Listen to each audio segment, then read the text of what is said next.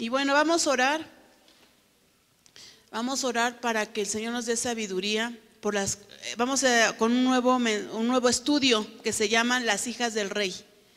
Este nuevo estudio consta de dos lecciones. Las hijas del rey.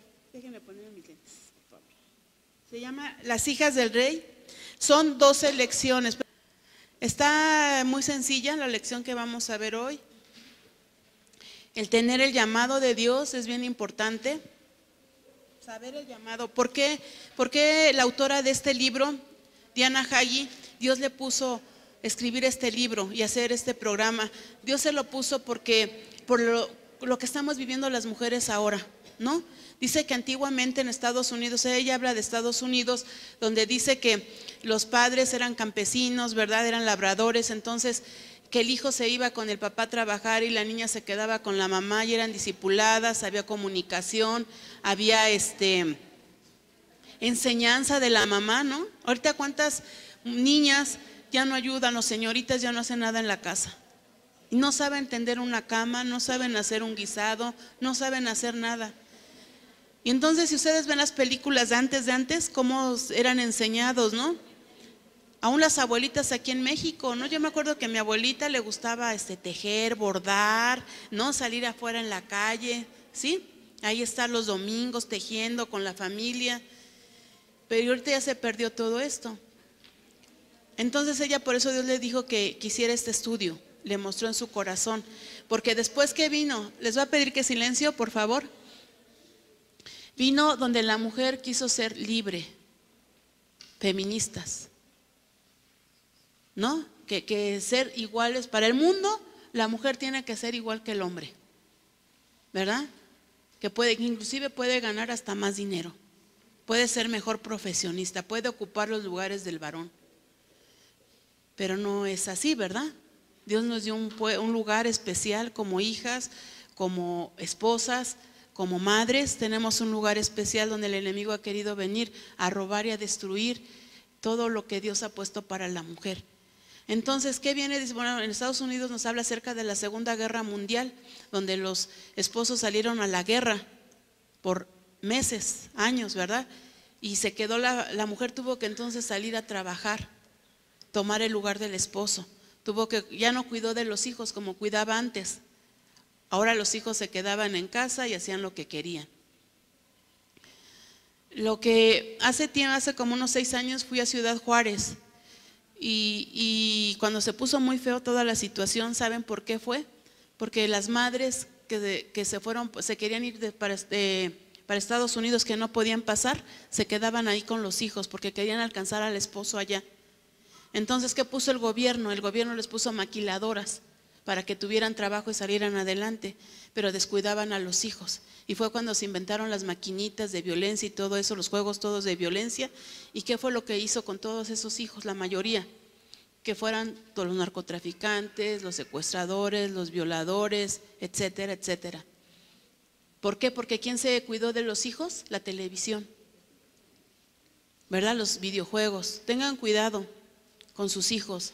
Déjenlos jugar, pero escójanles juegos que no sean de violencia. Escójanles eh, juegos que sean productivos a su vida. O por un rato a lo mejor de, juego, pero que no sea destructivo para sus mentes. Porque luego por eso quieren matar, por eso quieren... Siéntense un rato a ver qué juegos están viendo sus hijos. Porque ustedes dicen, ahí está quietecito, ten hijo, ten, puedes ver la tele, puedes jugar eso, mientras yo tengo tantas cosas que hacer, o ir con la amiga, o ir con la... ¿No? Estamos más o menos viendo lo que pasó en esa época en Estados Unidos y lo que ha pasado aquí en México. Ahora, no es malo que la mujer trabaje, no, no es malo. Vemos, ya vimos también más adelante, el otro año, si Dios nos presta vida, vamos a ver hermosa ante los ojos de Dios. Es todo acerca de Proverbios 31, 10 al 31, donde la mujer es emprendedora, trabajadora, creativa, pero sin descuidar el hogar. O sea, como mujeres tenemos que cuidar de los hijos sin descuidar qué? El hogar. Sí podemos trabajar sin descuidar el hogar.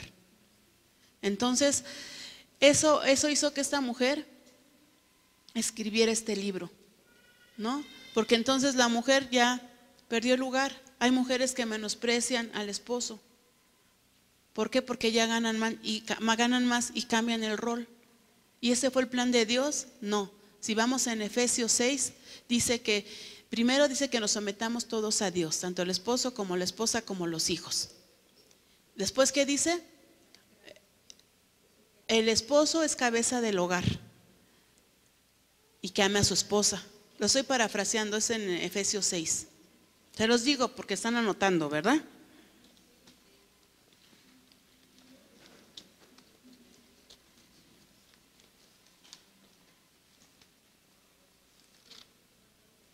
Efesios 6.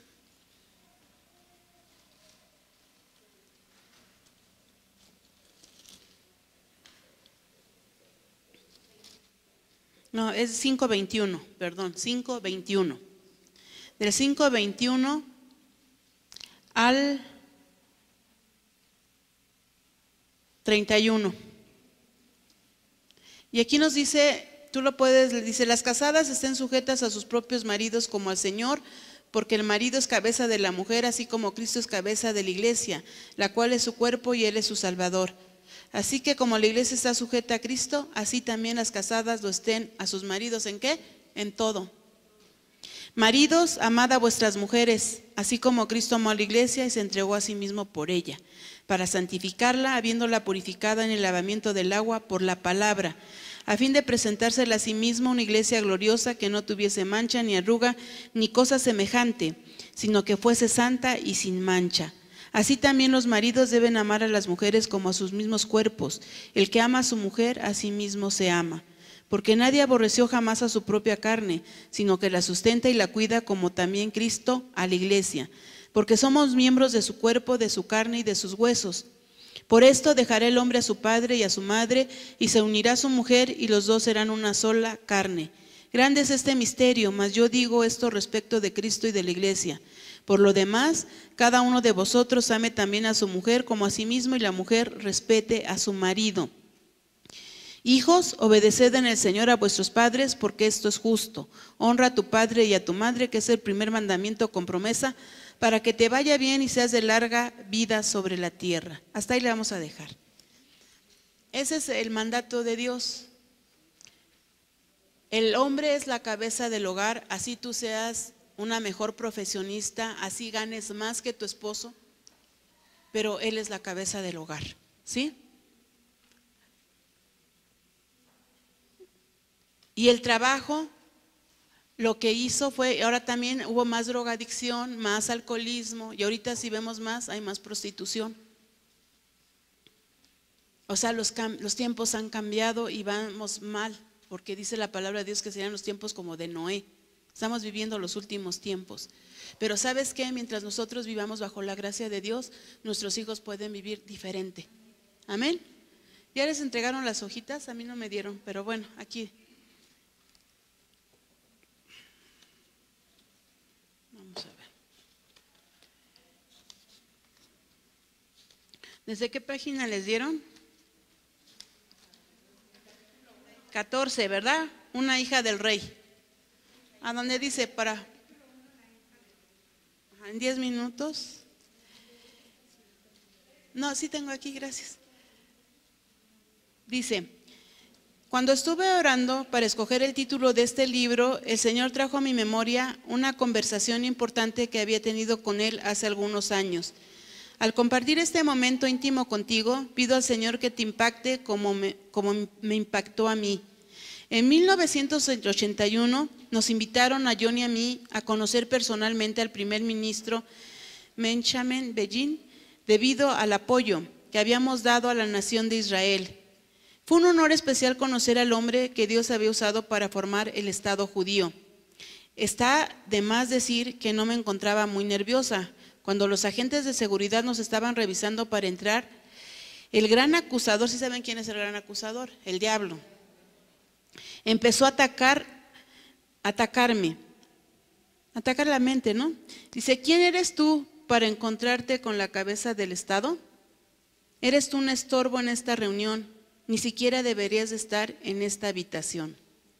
Fíjate cómo el enemigo tiene una guerra contra la mujer, que a veces nos quiere sentir inferiores, que, el Señor ya nos levantó y a veces tú dices, ¿y qué hago aquí? No merezco estar aquí. Hay mujeres que todavía sí dicen, no merezco estar aquí. Yo no debería de estar aquí. Y así esta mujer así se sentía cuando fueron a conocer al primer ministro de Israel. Dice, sentí que tenía razón, me sobrevinieron sentimientos de inseguridad, como si una enorme ola me hubiera revolcado. No podía respirar. Me acerqué a mi esposo para pedir que me disculpara por no estar presente en la reunión. De pronto escuché una voz en mi mente que era más fuerte que la del acusador, otro nombre del diablo, el acusador. ¿Por qué no estás haciendo lo que se te ha ordenado? Porque no soy digna de conocer a una persona tan importante, fue mi respuesta. Estoy a punto de conocer al líder de Israel. Inmediatamente esa misma, esa misma voz fuerte hizo una declaración que cambiaría mi vida para siempre.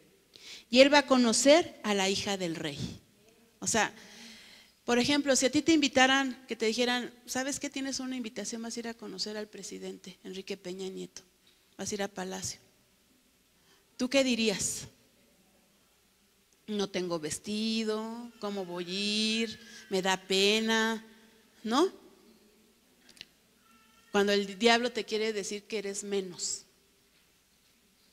Pero cuando eres una hija del rey dices, no, me voy con mi mejor ropa, me voy bien arregladita y ahí estoy, ¿no? A mí, me tocó ir con el presidente Calderón, ahí estuvimos los pastores. Y la verdad es un privilegio estar con los presidentes. Pero igual, si el enemigo me hubiera atacado, ay, él hubiera mi esposo, pues cómprame un vestido nuevo, pues cómprame algo que lleve, porque no tengo nada que ponerme. ¿A poco no decimos eso las mujeres? No tengo nada. Pero cuando somos hijas del rey sabemos que estamos representando a la iglesia de Dios. Y sabemos que estamos ahí porque Dios va a hacer algo grande y que va a cambiar el mundo, porque no, eh, o sea, nuestro país no va a ser cambiado por ningún partido político. Nuestro país va a ser cambiado por quién? Por nuestro Padre Celestial, por nuestro Señor Jesucristo. Amén. Y cuando tú y yo nos paramos en la brecha para orar y para ser esas hijas del rey, van a suceder cosas tremendas. Amén. Dice, la ola de inseguridad y miedo desapareció Enderecé mis hombros, entré a la habitación, me dirigí hacia el primer ministro y extendí mi mano. Lo recuerdo como si hubiera sido ayer. Tomé su mano firmemente y dije, soy Diana Hagi, es un honor conocerlo. Solo que me hubiera conocido, solo que me hubieras conocido en ese entonces podrías entender el milagro de ese momento. Nunca volvería a ser la misma otra vez no porque no me encontraba en la presencia de uno de los hombres más importantes en la historia, sino porque había tomado mi lugar en la sociedad del reino del cielo. ¿Dónde vamos a tomar nuestro lugar? En la sociedad del reino del cielo. Subraya eso en tu copia. O sea, nosotras somos una bendición donde vayamos. Nunca te sientas menos. Tú nunca digas, ¿y por qué estoy aquí? ¿Para qué estoy aquí? Estás aquí, ahí, porque eres una embajadora del reino. Amén. La eterna sociedad del Señor Jesucristo, eso es. Y fui y siempre seré la hija del rey, y tú también, nuestro rey, tiene un destino divino para todos nosotros. Amén. Y dice, toda mujer tiene un destino divino que el Dios soberano determinó desde la fundación del mundo. Eso está en Efesios 1.4, ahí está en el mismo libro, si no te tocó copia, pues en tu libro. Dice, según nos escogió en él, eso dice Efesios 1.4, según nos escogió en él antes de la fundación del mundo para que fuésemos santos y sin mancha delante de él. Dios tenía un llamado para Sara. ¿Sí saben quién fue Sara? Que tuviera como hijo Isaac y el hijo de la risa. Su vientre probaría una vez más a la humanidad que con Dios nada que es imposible. ¿Quién fue Sara? Una mujer estéril que no podía tener hijos y que ya tenía 90 años. Es más, ya se le había ido la costumbre de la mujer. Pero para Dios no hay nada imposible y le dio el hijo de la promesa que fue, ¿quién? Isaac. Dios llamó a Ruth una mujer gentil. ¿Una mujer qué? Gentil, como tú y yo. El pueblo de Israel era el pueblo amado de Dios y todos los demás pueblos eran gentiles o paganos. Pero Dios, que nuestro Señor Jesucristo ya nos redimió, ya nos hizo coherederas juntamente con Cristo. Amén. Para que dejara su país después de la muerte de su esposo, para que cuidara de su ojerosa y arrugada suegra, Noemí, a quien dijo, ¿cómo me gusta esta cita? No me ruegues que te deje y me aparte de ti, porque donde quiera que tú fueres, iré yo, y donde quiera que vivieres, viviré Tu pueblo será mi pueblo y tu Dios mi Dios. Qué hermosas, ¿verdad? Siempre esta cita se da como para el matrimonio, pero qué hermoso que es hacia la suegra. La nuera a la suegra le está diciendo esto. También va a cambiar nuestra relación con nuestra suegra. Amén. Porque es un destino el que tenemos, un destino divino, un, un destino de amor que cambia. Dice, el destino de Ruth era demostrar que Dios es un Dios de esperanza. ¿Es un Dios de qué? De esperanza. Como mujer gentil que llegaba a una nación judía, no tenía esperanza. Sin embargo, su destino era casarse con vos, un hombre rico y poderoso, y tener un bebé, Obed, el tatarabuelo de Jesús de Nazaret. Fíjate, después de que era una mujer gentil, de ahí viene la descendencia de nuestro Señor Jesucristo. Entonces nadie puede decir, ay, soy menos, no, todos mis pecados me hacen ver horrible, ya no, Dios ni Dios me perdona. ¿Sabes qué? Dios murió en la cruz para perdonarnos de toda nuestra maldad y ser diferentes, ser hermosas ante sus ojos. Dios llamó a María para que sometiera su cuerpo, su vida y su reputación. ¿Y qué? Para que diera luz al Hijo de Dios, lo cual determinó el destino de toda la humanidad. Lucas 1:13. Y ahora concebirás en tu vientre y darás a luz un hijo y llamarás su nombre Jesús. Y tú también eres una persona muy importante en el reino de Dios. A ver, di, soy importante en el reino de Dios. Los propósitos de Dios prevalecerán en tu vida una vez que te hayas rendido a su voluntad. Proverbios 19:21, aquí está escrito. Muchos pensamientos hay en el corazón del hombre, mas el consejo de Jehová permanecerá. Muchos pensamientos hay en el corazón del hombre, mas el consejo de Jehová permanecerá. A veces nosotros tenemos pensamientos bien chiquitos y a veces hasta malos, ¿verdad? O a veces imposibles, pero para Dios no hay nada imposible. Amén.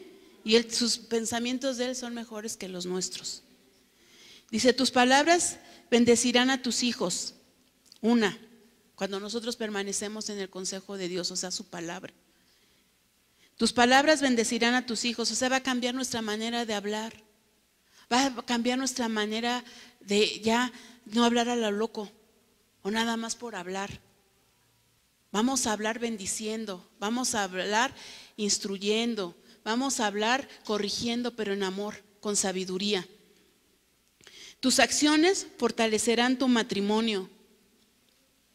Fíjate, tu esposo te va a ver diferente si tienes esposo. Lo vas a fortalecer. Vas a ser una ayuda idónea. Porque ya también tu manera de, de hablar con él va a ser diferente. Tu lealtad a su llamado para vivir en santidad te permitirá sentir su plenitud como mujer. Tenemos que ser leales, leales a Dios y leales al propósito que Dios tiene para cada una de nosotras aquí en la tierra. ¿Sí? Tus oraciones moverán montañas. Vénganse a la oración. miren, a veces yo no puedo llegar nueve y media, pero la primera que llegue, ore. Ore, tenemos mucho que orar. Y esas oraciones ya están moviendo montañas. Amén. Los enfermos van a ser sanados, los oprimidos van a ser liberados, ¿verdad? Los, matrimonios van a ser restaurados, los varones van a ser levantados con el poder de Dios. Amén. Y tu carácter influenciará a otros para Cristo. Tu carácter en Cristo. No el carácter de una mujer necia, sino en Cristo. Que digan, ¿qué tienes? Que te pidan el consejo, que te digan, yo quiero, yo quiero seguir a tu Dios. Enséñame, enséñame por qué estás cambiando, por qué eras así y ya no eres porque te comportabas así y has cambiado. Veremos cuál es la voluntad de Dios para ti en tres partes de tu naturaleza. Tu alma, tu espíritu y tu cuerpo. De eso se trata el estudio, estas dos elecciones. Vamos a ver lo que es el alma, lo que es el espíritu y lo que es el cuerpo. Vamos a ver las tres áreas. ¿Está bien? En el próximo capítulo empezaremos con tu alma, tus emociones y sentimientos. Muchos de nosotros sufrimos de baja estima. En este capítulo conoceremos lo que Dios piensa de nosotros, que es más verdadero que lo que nosotros podamos pensar, ya que Él es omnipotente y, omnipresente. Dice, después consideraremos tu vida espiritual. tu testimonio en Cristo y tu relación con el Espíritu Santo. Finalmente, examinaremos tu naturaleza física, que incluye tus metas, tu sexualidad y hasta tus finanzas y tu hospitalidad.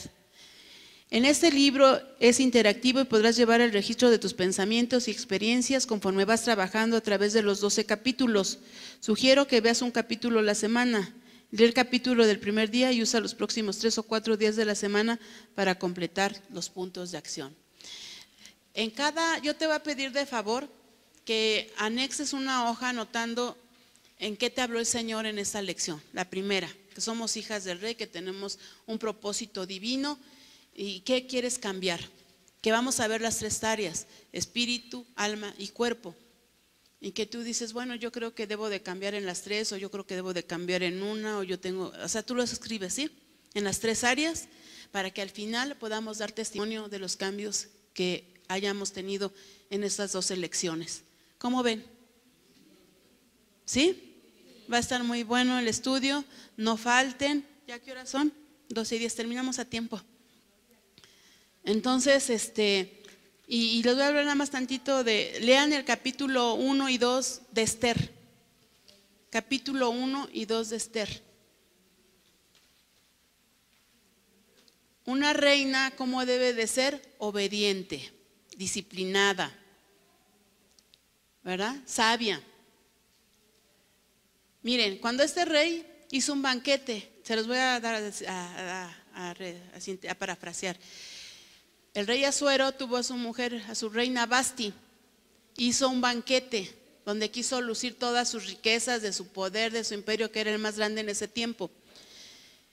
Y ya cuando dice que ya pasadas las, ¿verdad? Las copas, el vino, mandó llamar a la reina Basti, dice que era muy hermosa esta reina pero que la reina Basti no quiso ir. Y sabes que la desobediencia va a traer consecuencias negativas a tu vida. La desobediencia no es buena. La mandó llamar el rey. Y lo que ordena el rey es un mandato. O sea, tú no puedes, si aquí la palabra de Dios dice ama, tú no puedes vivir odiando. Porque Él es nuestro rey, nuestro Señor Jesucristo, y Él nos dejó este, este, este testamento. ¿Verdad? Donde es una ley. No podemos vivir desobedeciendo la palabra de Dios. Bueno, entonces esta reina desobedeció y su desobediencia, ¿saben qué le costó? Que la quitaran del trono. Que la quitaran. Y entonces el rey pregunta a su consejera, a sus consejeros, que qué va a hacer con eso. Y ¿saben qué dicen? Y esos que no eran cristianos, ¿eh? Dice, no, pues hay que levantar un edicto donde la reina Basti sea quitada, porque entonces las mujeres harán lo mismo con nosotros y nos despreciarán. Y no eran, no eran judíos, ¿eh? Y ya sabían por Dios que hay un orden. Que el varón, por eso leímos Efesios, el varón es la cabeza del hogar. Nunca lo podemos menospreciar, ni nunca lo debemos deshonrar. Si el Señor dice honralo, honralo. Respétalo, respétalo. Porque la desobediencia, así como la reina Basti fue quitada del trono, también en nosotros puede haber consecuencias. ¿Con quién? Con nuestros hijos, con lo que más amamos. Bueno, primero amamos a Dios, después el esposo y después los hijos. Ese es él, así como leímos. Entonces fue quitada y entonces dice que se levante entre las doncellas una reina. Y andan buscando a las doncellas. Y entre esas doncellas ahí va Esther, que se llamaba Adasa, ¿verdad? Y dice que ella era una jovencita que fue instruida por su tío Mardoqueo, que cuando era muy niña murieron sus papás. Entonces a veces vemos a mujeres que dicen, no, es que mi papá me abandonó, es que mi papá se me dejó, es que fui muy pobre, es que... Y eso les impide crecer en el Señor. Eso impide tomar la herencia que Dios nos ha dado. Pero ella fue tan instruida en el temor de Dios que fue sabia y siempre fue obediente. Y entonces se la llevan, pero ya fue instruida por quién? Por el tío. Por eso ustedes van a instruir a quién? A sus hijas y a sus nietas. Vamos a instruir a las que tenemos mujercitas en casa. Y fue instruida y entonces fue llevada al palacio. Dice que eran instruidas para ser reinas. Bueno, a ver el, rey a quién iba a escoger como reina. 12 meses. Dice que seis, seis con... Ahorita se los va a leer. Está antes de...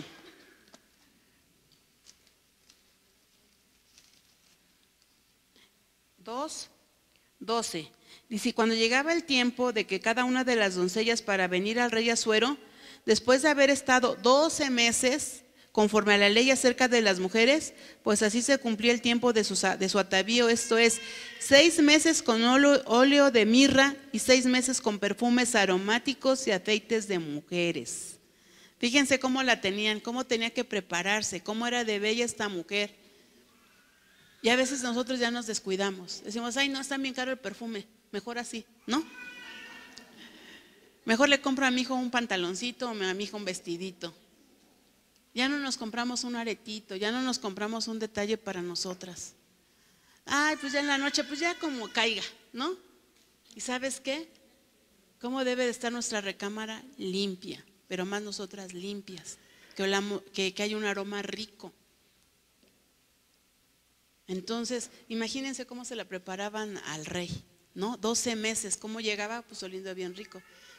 Y nosotros, no, pues ya, ya, ya me conoce como soy, ya, ¿verdad? Pero no, no es eso. Por eso vamos a arreglarnos, ¿no? Vamos a arreglarnos, vamos a oler rico, a limpias.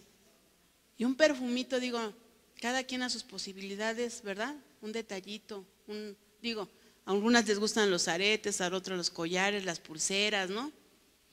Entonces, pero bueno, eso ya es personal, pero que se vea que somos femeninas, ¿sí? Que pueda decir tu esposo, mira qué guapa estás. Que puedan decir tus hijos, ay mamá, qué rico hueles, ¿ah? qué bonito te peinaron hoy, ¿no? Qué bonita te ves. Que tus nietos te abracen y que te digan, ay, eres la abuelita más guapa, ¿no? Y no que te digan, ay, abuelita, ni tiempo te dio de peinarte hoy, ¿verdad? Te levantaste con la pijama y, y sigues con la pijama, ¿no? Entonces, eso nos va a enseñar. Por eso son esos 12, 12 temas que vamos a ver. Y cómo se fue preparando y cómo fue encontrando gracia. La gracia es un tema bien importante que nosotros tenemos que tener. La gracia, la gracia de Dios. dice que fue llena de gracia y fue escogida, fue escogida por el rey. Aquí dice en el, en el 16, mismo 2.16, fue pues ser llevada al rey Azuero a su casa real en el mes décimo, que es el mes de Tebet, en el año séptimo de su reinado. Y el rey llamó a Esther más que a todas las otras mujeres y halló ella gracia y benevolencia delante de él más que todas las demás vírgenes y puso la corona real en su cabeza y la hizo reina en lugar de Basti. Fíjate, la hizo reina. Pero ahora hay un propósito. ¿Por qué, ¿Por qué fue reina? Porque iba a salvar a quién? A su pueblo. Y eso está ahí mismo en Esther 4. Cuando mandan levantar un edicto de matar a todos los hebreos, a todos los judíos. Y ella le manda a decir el tío Mardoqueo, ¿no? Manda de preguntar a ella que por qué está en silicio, por qué está, ¿verdad? Triste. Y le mandan decir por qué por el edicto que se levantó de matar a todos los judíos. Entonces ella, el rey, solamente podía ver a la reina cuando él la mandaba llamar. Si él no la mandaba llamar, ella podía ser muerta. Pero si le extendía el cetro, entonces le estaba dando de su gracia. Ven, ¿qué quieres? Entonces ella le manda a decir a Mardoqueo, ayunen, ayunen por mí y oren. Yo también lo voy a hacer y voy a ir al rey para pedir esta petición y salvar a su pueblo. Dice, y si perezco, que perezca. A ella no le importó dar la vida por su nación. A ella no le importó morir, si en el caso que hubiera sido eso. Pero Dios le dio gracia y favor con el rey. Así tú y yo, el rey es nuestro Señor Jesucristo. Y dice que lleguemos ante el trono de su gracia para hallar el oportuno socorro. Él día él no, dice, el que a mí viene, no le echo fuera. Y siempre está con su cetro, ¿verdad? Esperándonos como sus hijas, para que le digamos la alegría, para que le, digamos la tristeza, para que le contemos el dolor, para que le digamos lo que está pasando. sin mentiras, transparentes y esperando en sus promesas y en su fidelidad y en su misericordia. Entonces llegar delante del rey es lo mejor que podemos hacer. ¿Y, y qué? Que demos la vida o algo. ¿Sabes qué? Es mejor estar clamando y llorando que ver que nuestra familia se está perdiendo. Aquí está como ejemplo, por eso siempre ponemos como ejemplo a mi suegra. 14, 17 años, orando por su hijo, por el que es mi esposo, por mí, donde ya no había nada que hacer con su hijo, ni yo como esposa menos, yo era la, que menos creía, y aquí estamos sirviendo al Señor. Entonces tenemos que llegar ante el trono de gracia para hallar el oportuno socorro, para entrar como hijas del Rey, diciendo, yo sé cuáles son tus promesas, que tú harás volver el corazón de los padres hacia los hijos y de los hijos hacia los padres. Yo sé que tú vas a cambiar el corazón de mi esposo. Tú, yo sé que tú me vas a cambiar a mí como hija tuya. Sé que vas a cambiar mi manera de hablar. Tantas y tantas cosas. Si yo les preguntara una por una, todas tenemos diferentes circunstancias. Pero todas están aquí en la promesa de Dios. Entonces eso es lo que vamos a hacer este tiempo. ¿Y sabes qué? La puso como, y el Señor oyó su petición y salvó al pueblo de Israel. Tú y yo tenemos un propósito aquí. ¿Sabes? Ese propósito es que nuestra descendencia le sirva a nuestro Dios. Amén. Y así dile, Señor, no me importa el tiempo. No me importa. Yo lo único que sé que tú eres fiel. Eso es lo único que sé y que tú vas a ser fiel a tus promesas. Nada más te pido una cosa. Dame gozo en medio de la prueba, en medio de la adversidad. Dame gozo y dame paz. Y, aumenta mi fe para que no decaiga. Y Esther, bueno, hasta la fecha estaba, siempre va a ser recordada en la palabra de Dios como esa reina que salvó a, a su pueblo y hacen una fiesta cada año en Israel. Por una mujer que dio su vida por su pueblo, por su nación, que tenía un llamado. Y que así que en tu casa puedan decir, pasando las generaciones, por mi abuelita, mi bisabuelita, llegó la palabra de Dios a mi casa y mi vida, mis generaciones fueron cambiadas y transformadas con el poder de Dios. ¿Verdad? Que tus hijas, tus nietas, tus bisnietas te puedan ver como esa mujer de Dios, bonita por fuera y por dentro. Así, así el Señor va a hacer un cambio total en todas nosotras. Amén. Pónganse de pie. Vamos a orar. Y también vamos a orar por los diezmos y las ofrendas. Ahorita en esta oración. Si vas a, este, a dar tu diezmo, levanta tu mano para que te hagan llegar un sobre. Y si vas a dar ofrenda, pues también. Padre Celestial, gracias por el llamado que nos has dado a cada una de nosotros, por la bendición de haber nacido en el vientre de nuestra madre. Cuando tú nos ya hiciste, Señor, para que habitásemos aquí en la tierra, ya había un propósito, hay un propósito grande. Algunas te conocieron de niñas, otras te conocieron de jovencitas y otras te hemos conocido más grandes, Señor. Pero muchas gracias. Muchas gracias por esa salvación que nos diste en la cruz del Calvario. Ahora te pedimos, precioso Espíritu Santo de Dios, que traigas a nuestro corazón la convicción de que somos tus hijas y que cuando somos tus hijas es porque, Señor, tú nos cuidas, tú nos proteges, tú nos oyes, tú nos levantas, tú nos animas, que no estamos solas, no estamos solas. Tu presencia está con nosotros, eso es lo más importante, Señor. Que esté así latiendo en nuestro corazón tu presencia, que podamos decir como lo dijo David, si tu que tu presencia es mejor que la vida, que mientras tengamos vida, Señor, Nunca nos demos por vencida en, las derrotas, Señor. Nunca, porque para nosotros no hay derrotas porque tú ya las pagaste en la cruz del Calvario, mi Dios. Nada más tenemos que pasar un proceso, pero que en ese proceso no estamos solas. Tu presencia va con nosotros. Bendice mis generaciones, Señor. Bendice, en este día te pedimos que nos bendigas a cada una de nosotras como hijas tuyas. Bendícenos con toda bendición espiritual. Bendícenos, Señor, para que, Señor, nuestra fe crezca, haya esperanza. En algunas mujercitas no hay esperanza en algunas circunstancias que están viviendo. Que haya esperanza, que haya vida. Declaro la vida, Señor, sobre esa circunstancia. Declaro, Señor, que somos mujeres de fe. Pero más que nada, hoy declaro tu gracia sobre cada una de nosotras, Señor. Esa gracia que nos lleva más allá, Señor, de lo que no esperamos, de lo que no merecemos pero que tú no los das por ese inmenso amor que nos tienes, por ese inmenso amor por el cual nos creaste, por ese inmenso amor por el cual nos has hecho mujeres, Señor, porque es una bendición ser mujer. Muchísimas gracias. Enséñanos a, a, tener el rol cada una de nosotros que tú nos has dado, Señor, como hijas tuyas, como madres, como esposas, como abuelas, como suegras, como nueras, como tías. Hay tantos, tantas responsabilidades que nos has dado, Señor, que en todas seamos siempre una bendición. Hoy queremos dejar sobre ti toda carga.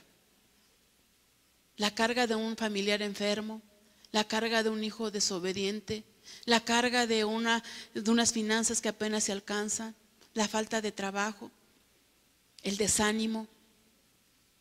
Hoy queremos entregarte toda carga. No queremos ya llevarnos hoy nada, Señor. Queremos depender totalmente de ti.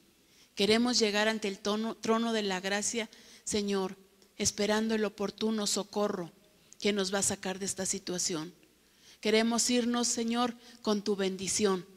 Bendice nuestro regresar a nuestros hogares, de nuestros hijos, de nuestro esposo, que regresen en el tiempo, en los horarios que ellos tienen de escuela y de trabajo, que lleguen con tu bendición a los hogares y que este tiempo de discipulado para las hijas sea de bendición. Hoy pongo, pon a tus hijas, a tus nietas. Pongo a mi hija, di su nombre. Pongo a mis nietas, di su nombre. Pongo a Keren. Que tienes bisnietas, a tus bisnietas. Que Señor tú me des la gracia para poderlas disipular. Que me des el favor, que toque sus corazones, Señor que podamos tener ese tiempo de calidad. Y igual, si tienes una sobrina que te llevan, también ministrala. Gracias, Espíritu Santo de Dios. Gracias porque nos vamos con alegría, nos vamos sin esa carga, nos vamos libres, nos vamos libres, Señor, en el nombre de Jesús. Amén. Y te damos gracias por los diezmos y las ofrendas, Señor. Bendícelas por cada mujer trabajadora por cada mujer, Señor, que has bendecido nuestras manos para ser mujeres productivas, mujeres sabias, mujeres que también sabemos administrar las finanzas. Muchas gracias, Señor. Y gracias porque somos hijas del Rey de Reyes y Señor de Señores. Amén.